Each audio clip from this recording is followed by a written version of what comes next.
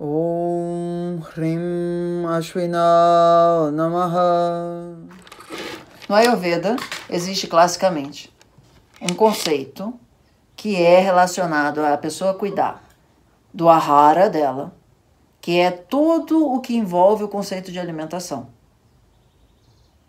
Do nidra dela, que envolve ela cuidar tudo do conceito de como o sono e o processo de restituição metabólica dela está funcionando. E aí tem uma grande confusão quando vocês leem, que é sobre se a pessoa deve fazer sexo ou não. O quanto ela deve fazer sexo, de que forma ela deve fazer sexo. Que vocês vão ver escrito como Brahmacharya em alguns livros, outros livros vocês vão ver escrito como Abrahmacharya. E ninguém sabe exatamente, assim, uh, não é que ninguém sabe, mas todo mundo sabe uma versão e diz que o outro está errado. Ok? Então, esse conceito de Trayopastamba é um conceito que é um dos uh, aspectos clássicos da rotina Ayurveda. Você cuidar desses três subpilares da tua saúde. Vocês vão ver que uh, muitas vezes as pessoas vão chamar isso de um, Trayostamba ou qualquer coisa nesse sentido, mas a ideia é, no Ayurveda, Vata, Pitta e Kapha são os principais corregentes metabólicos da tua saúde. Por que, que são os principais corregentes metabólicos? Porque quem é o principal regente metabólico é o Agni, ok? Então a tríade principal para te manter saudável no Ayurveda são os tridatos, normalmente é xingados como tridoshas, que são os Vata, Pitta Kapha. Então no Ayurveda, você sempre cuida do Agni, para você cuidar do Agni, você cuida do Vata, Pitta Kapha. Tá certo? O objetivo de você cuidar do Vata Pitta Kapha, essencialmente, é você cuidar do Agni funcionar de uma maneira adequada.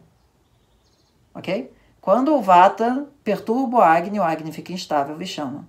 Quando o Pitta perturba o Agni, o Agni fica intenso, Tikshna. Quando o Kapha perturba o Agni, o Agni fica letárgico, Manda. Então a gente cuida de Vata Pitta Kapha essencialmente para o nosso Agni estar tá funcionando bem. Quando o nosso Agni está funcionando bem, Vata Pitta Kapha ajuda a gente a manter a nossa saúde. Eles atuam como dados no nosso sistema e não como doshas. Mas além desse conceito de Vata Pitta Kapha, que é um conceito muito importante no Ayurveda, mas ele é um corregente metabólico. Existem três outros conceitos, três outros subpilares. Trayo, três, Upastamba, um, que é aquilo que está próximo. Então, na nossa casa, no centro da nossa casa tem uma lareira, ele é o Agni. Ao redor dessa lareira tem três pilares. Esses três pilares são Vata, Pitta e. E para além desses três pilares, tem três subpilares que ajudam a manter esse nosso edifício metabólico em pé, que classicamente são a Hara, todo o cuidado imenso que você tem sobre a alimentação. E aí nos PDFs que eu mandei para vocês, tem mais informações sobre isso. A gente aqui não está querendo entrar ainda nos detalhes todos disso tudo. A gente está querendo entrar no conceito. A gente tem Nidra, que aqui a gente não vai traduzir Nidra apenas como sono. Por favor, traduzam Nidra como processo de restituição metabólica. Ok? Como diria um quadrinho, viver cansa. viver desgasta. Ok? E se você não restitui o teu processo metabólico através do Nidra, Nidra pode ser sono, Nidra pode ser meditação, Nidra pode ser algumas formas que não incluem necessariamente você estar dormindo. É tudo aquilo que te rejuvenesce. Ok? Onde você fica num estado de tranquilidade onde seu corpo pode ser restabelecido. E o terceiro conceito clássico é Brahmacharya, Brahmacharya. É um uso adequado da tua energia sexual e principalmente dos seus assim dos seus tecidos. A ideia do Ayurveda é que se você ejacular demais, você morre. Isso não quer dizer que o Ayurveda é contra a ejaculação. Mas a ideia do Ayurveda é que para você promover a longevidade, sexo não deve ser um parque de diversões. Sexo deve ser algo para te conectar espiritualmente com uma outra pessoa. Bom, então, esse conceito clássico de Trayopastamba do Ayurveda vai ser uma coisa que sempre que você encontrar um indiano falando sobre Ayurveda, vira e mexe, ele vai falar sobre isso. E agora você já sabe qual é o código para essa palavra. Trayopastamba, no geral, vai ser referido a isso, ok? Porém, aqui no nosso uh, entendimento. Os nossos três pilares da saúde vão ser prioritariamente Ahara, que é essa parte de alimentação. Malas, que são as excretas. E Nidra. Por que, que a questão do sexo saiu daqui e entrou a questão das excretas? Porque hoje em dia as pessoas ficam muito doentes com essa história de prender o intestino à evacuação porque está atrasado para o trabalho, ou prender o xixi porque não pode levantar da mesa do escritório, ou eventualmente várias coisas que fazem com que hoje em dia a nossa sociedade fique mais doente por conta disso. Esses traiopastambas eles foram ah, clássicos eles foram colocados num conceito onde o Ayurveda estava prioritariamente cuidando do rei. E o rei muitas vezes tinha um harém. E não dava para o rei com harém lá ficar tendo relação sexual todo dia, ter uma longevidade que era necessária. Eu não estou te dizendo que o cuidado do Ayurveda com a relação sexual seja uma questão menor. Não é. Mas para um nível prático, para uma metodologia de atendimento. No geral, você vai ter três coisas para focar. Num primeiro momento, identificar com teu radar tu, tu, tu, onde é que está mais crítico na vida da pessoa. Onde é que está mais crítico? A digestão dela? É o acne que está ruim? É a fome dela que está ruim? É a digestão dela que está ruim? Se for, concentra a tua energia em falar muito no atendimento sobre isso. Ok? Foca no pilar que está carcomido, quase caindo. No geral, vai ter um mais carcomido do que o outro. O segundo pilar é o sono. Na verdade, não tem primeiro, segundo, terceiro. Os três ali, o conjunto. Você tem que checar. A pessoa dorme bem? Ela se sente rejuvenescida? Não estamos falando se ela dormiu oito horas todo dia. Anota isso.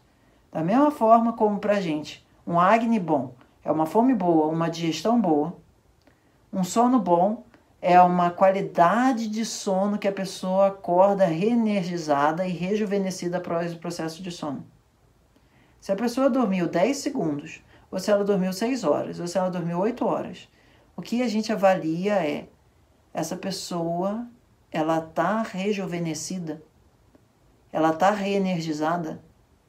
Se você dormiu 5 horas e você está rejuvenescido e reenergizado, é melhor você sair da cama do que você dormir mais meia hora e acordar podre, arrastado e etc.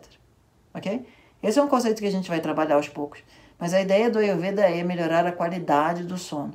E existe todo um processo fisiológico de picos e vales, que quando você acorda num lugar certo, no pico, você está com muita energia e leve. Quando você acorda no vale, você está pesado e letárgico. Então, às vezes, você dorme três horas e meia, suponha, e você acorda num pico, e é melhor você sair da cama naquele momento do que você dormir quatro horas e já acordar no vale ou qualquer coisa assim, certo? Quantas pessoas, quantas vezes você mesmo, já na tua experiência, dormiu mais 15 minutos, meia hora, uma hora, e aquilo dali foi pior? Quantas vezes você dormiu mais meia hora, uma hora, e aquilo foi melhor? Não é uma questão exatamente da quantidade de sono é questão da qualidade do sono e anota isso. Você deve acordar leve. Você deve acordar bem disposto. Você deve acordar rejuvenescido. Esses são sinais de que aquele sono que você dormiu está adequado. Se você tem mais meia hora para dormir, acorda e vai meditar, que isso vai ajudar você a melhorar o teu nidra. Acorda e vai fazer um pouco de yoga, acorda e vai fazer um pouco de mantra. Mas se você dormir mais meia hora, provavelmente você vai afundar no teu processo e você vai acordar pedado, letárgico, etc. Ok? Então, muitas pessoas vocês vão ver falando: ah, mas eu durmo oito horas todo dia, por que, que eu me sinto tão cansada? Uma das coisas é o processo digestivo da pessoa tá ok? Ah, eu como sempre com muita fome, não tenho o menor problema de digestão, eu como mesmo e não tenho o menor problema. O acne da pessoa tá ótimo. Mas ainda a pessoa fala: ah, mas eu me sinto sem energia eu me sinto assim um pouco cansada na minha vida, eu me sinto desmotivada. Segunda das três opções que você pode elencar é: como é que tá teu sono? Ah, eu durmo ótimo, obrigado. Não, peraí, você acorda rejuvenescido? Você acorda leve? Você acorda bem disposto? Você acorda assim com potência? Não precisa acordar um super-homem, mas você acorda com potência, ok? No geral, não precisa ter todo santo dia. E o terceiro dos nossos subpilares, do nosso Trayopastamba, nessa nossa metodologia aqui do Namaste Coaching é como está o estado de evacuação das excretas, principalmente das fezes, da urina e do suor. Então, não importa a constituição da pessoa, não importa o desequilíbrio da pessoa, no geral, o Ayurveda entende que a pessoa evacuar de manhã cedo, antes de uma refeição tensa, antes de uma refeição sólida, vai ser muito necessário para ela viver melhor. Carregar bosta cansa. Ok? Então, a ideia é, através daquele copo de cobre, de uma, da água do copo de cobre, da água morna com limão, ah, do que seja que a gente está fazendo, focar em a pessoa ter uma boa evacuação matinal. Para a pessoa ter uma estrelinha de metabolismo ok para gente, ela precisa pelo menos ter uma evacuação diária com qualidade, com as fezes saindo bem formadas. Isso é um sinal de performance metabólica adequada. São raríssimas as exceções onde a pessoa não deve evacuar todo dia. Mas isso são exceções, muito das exceções, por hora a gente deixa isso quieto, a gente coloca na nossa cabeça por hora que é 100% verdade, que toda pessoa precisa evacuar de manhã cedo com qualidade. Enquanto a pessoa não está fazendo isso e ela fala, eu estou sem energia, o nosso foco é fazer com que ela evacue de manhã cedo com qualidade, seja através de atividade física, seja tomando aquela trífala caseira da erva doce, uva passa, linhaça de noite, fervida na decocção, seja ela tomando a água de copo de cobre ou água morna com limão, etc. e tal. São vários aspectos que a gente vai falar sobre essa questão do como evacuar de manhã. Mas isso é uma parte. A outra é a pessoa fazer um bom nível de xixi, ela já acorda inchada ou não. E a outra é ela fazer um bom nível de suor, ela já acorda irritada ou não. Então, esses três aspectos principais, eles no geral vão ser muito importantes para equilibrar o vata quando a pessoa está sem evacuar direito, equilibrar o kapha quando ela está sem fazer xixi direito, equilibrar o pita para quando ela está sem suar direito. Então, no geral, uma pessoa que está muito com o intestino preso, se você não der atenção à rotina dela de antes de dormir, à rotina dela depois de acordar, e ensinar uma verdade maior no Ayurveda. Teu objetivo existencial quando você acorda é, antes de tudo, evacuar. Antes de meditar, evacuar. Antes de fazer yoga, meditar, é, evacuar. Antes de comer, evacuar. Antes de fazer atividade física, evacuar. Se você acorda 4 da manhã, 5 da manhã, 6 da manhã, etc., o ideal do ponto do Ayurveda é a primeira coisa que aconteceu no teu corpo, evacuar com qualidade. Isso seria o ideal. Nem sempre é o que acontece. Segundo aspecto é ah, do xixi. Você já acorda inchada? Se você já acorda inchada, você ficar tomando chá diurético de manhã vai ajudar a tua vida a ser uma vida menos letárgica, lesma, ah, arrastada para o resto da vida. Então, ficar tomando chá de capim-limão, cidreira, tomando, ficando um chá de gengibre, semente de coentro, depende aí dos desequilíbrios da pessoa fazer xixi, muito xixi de manhã, mas muito xixi, muito xixi, muito xixi. Para quem acorda já como um caminhão pipa, carregando muito líquido plasmático, é muito importante. Terceiro aspecto é, você já acorda empitecido e enraivecido da existência, querendo matar a pessoa do teu lado, você precisa suar mais. Você precisa jogar esse calor do teu sistema para fora, seja fazendo uma Ashtanga Yoga, sendo sair para surfar, sendo sair para andar de skate, sendo, sei lá, indo para academia. Mas suar faz parte de uma pessoa com alto nível de acidez no sangue, tirar a acidez antes que ele queira matar o chefe quando vai para o trabalho. Ok? Então, esses são os nossos três princípios, que num primeiro momento a gente vai avaliar tanto a nossa fisiologia quanto a fisiologia de outras pessoas, potencialmente, que a gente esteja orientando. Como é que está a digestão dela? Como é que está o processo de fome e digestão dela? Como é que está o sono dela? Como é que está a excreção dela? Ainda que classicamente esses não sejam os Trayopastamba do Ayurveda, esses são muito importantes para a gente ter uma performance pessoal extremamente potente. E também, eventualmente, orientando outras pessoas, caso isso seja esteja acontecendo. Certo?